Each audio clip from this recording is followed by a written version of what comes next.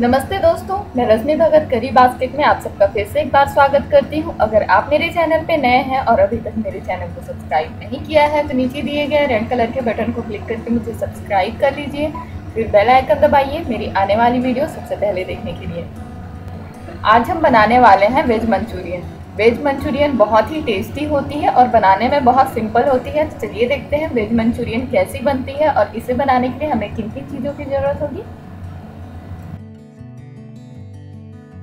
Veg Manchurian बनाने के लिए हमें चाहिए बारीक कटी गाजर। दो बारीक कटी गाजर लेंगे। दो बारीक कटी कैप्सिकम। बारीक कटी हरी मिर्च। और बारीक कटा धनिया। बारीक कटा प्याज। अरारोट या कॉर्नस्टार्च थ्री टेबल स्पून मैदा two tablespoon five spice या garam masala chilli sauce one tablespoon tomato ketchup one tablespoon light soya sauce one tablespoon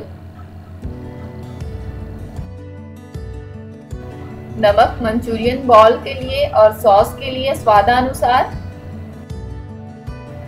तलने के लिए तेल लेंगे, डेढ़ कप करीब। ये मैं अभी दिखाऊँगी नहीं। तो फ्रेंड्स ये थे हमारे इंग्रेडिएंट्स अब हम सबसे पहले मंचूरियंस बॉल बना करके तैयार करते हैं। उसके लिए हम एक बाउल लेंगे। उसमें डाल देंगे गाजर, धनिया पत्ती और कैप्सिकम और मिर्च भी। थोड़ा गाजर हम ग्रेवी के लिए बचा लेंगे। कैप्सिकम और धनिया पत्ती और मिर्च को भी ग्रेवी के लिए बचा लेंगे।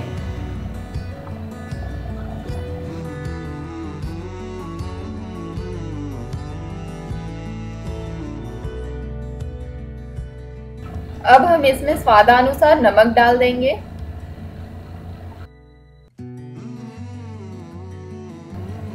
आधा छोटी चम्मच फाइव स्पाइस या गरम मसाला भी डाल देंगे।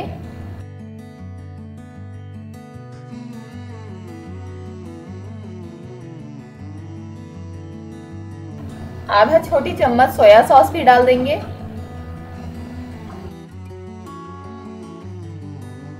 सारे मैदे को डाल देंगे।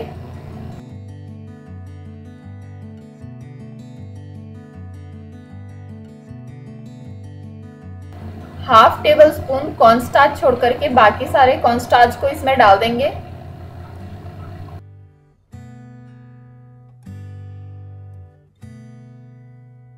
अब इसे हम अच्छी तरह से मसल मसल करके मिला लेंगे। अगर आपको ज़रूरत हो तभी पानी डालें, वरना इसका जूस काफ़ी है इसे गूंदने के लिए।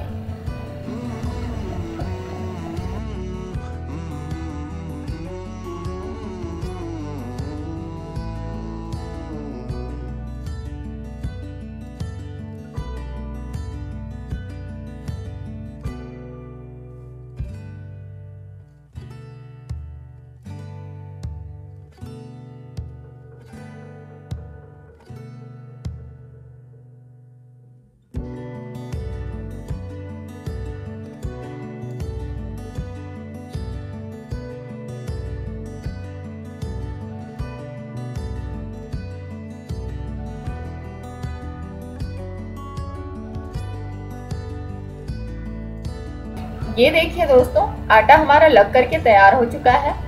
हमें इसमें पानी डालने की ज़रूरत नहीं पड़ी क्योंकि वेजिटेबल के जूस से ही हमारा आटा लग चुका है। अब हम इसे फ्राई कर लेंगे। मंचूरियन बॉल्स को फ्राई करने के लिए सबसे पहले हम एक कढ़ाई लेंगे, उसे गर्म कर लेंगे। कढ़ाई हमारी गर्म हो चुकी है, अब हम इसमें तेल डाल देंगे। तेल डालने के बाद हम तेल को अच्छी तरह से गर्म कर लेंगे।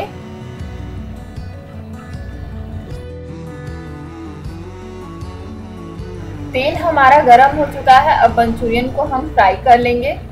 मंचूरियन को फ्राई करने के लिए सबसे पहले हम अपने हाथ को पानी से गीला कर लेंगे और एक छोटे नींबू के साइज़ का लोई ले लेंगे और उसे गोल कर लेंगे।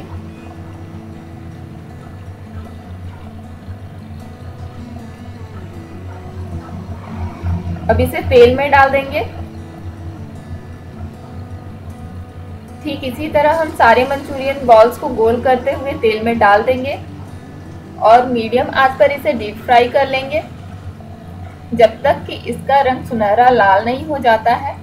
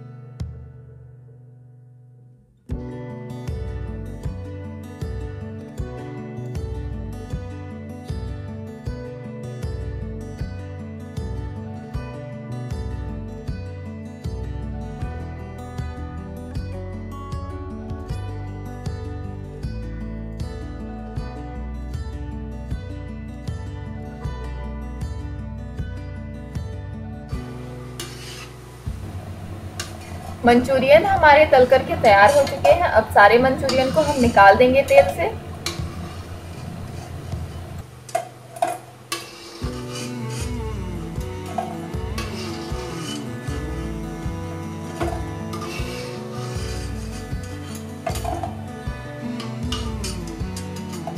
ये देखिए दोस्तों, सारे मंचूरियन तल करके रेडी हो चुके हैं। अब हम मंचूरियन के लिए सॉस तैयार कर लेते हैं। सॉस के लिए हम एक कढ़ाई लेंगे, उसमें तीन चम्मच तेल डाल देंगे और इसे हाई हीट पर गरम कर लेंगे। जैसे ही तेल गरम होता है, इसमें हम मिर्च डाल देंगे।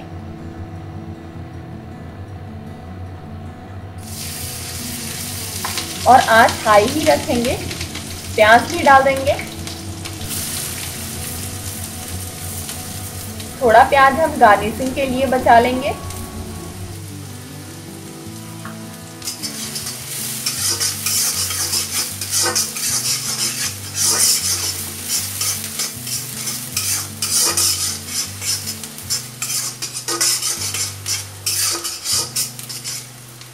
आधा छोटी चम्मच अदरक लहसुन का पेस्ट डाल देंगे। ये मैं आपको दिखाना भूल गई थी।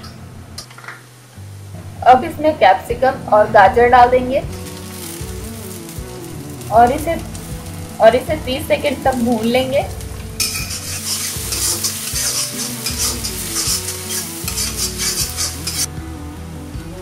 अब इसमें सोया सॉस डाल देंगे।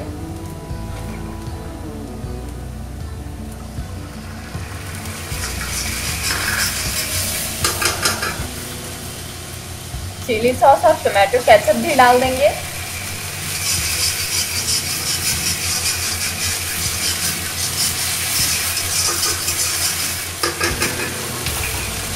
आधा छोटी चम्मच स्पाइस स्पाइस या गरम मसाला भी डाल देंगे। आप चाहे तो दोनों भी डाल सकते हैं।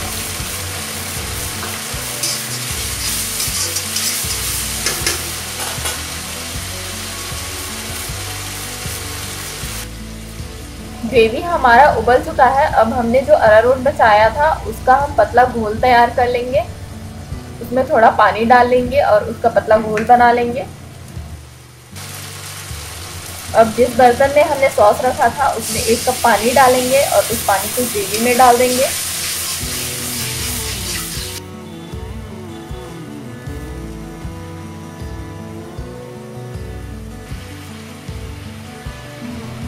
अब हमने जो अरारोट का पानी बनाया था, उसे हम ग्रेवी में डाल देंगे।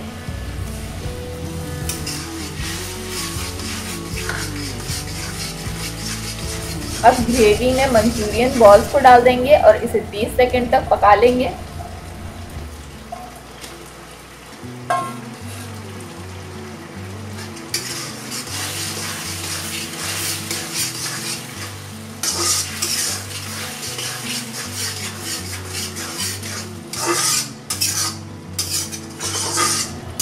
मंचूरियन हमारा पक चुका है। अब हम गैस को ऑफ़ कर देंगे और मंचूरियन को किसी सर्विंग डिश में निकाल लेंगे।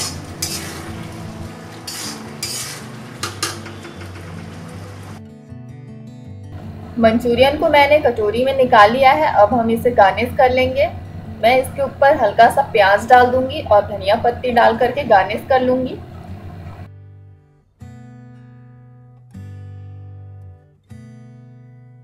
तो लीजिए दोस्तों, वेज मंचूरियन बन करके तैयार हो चुकी है।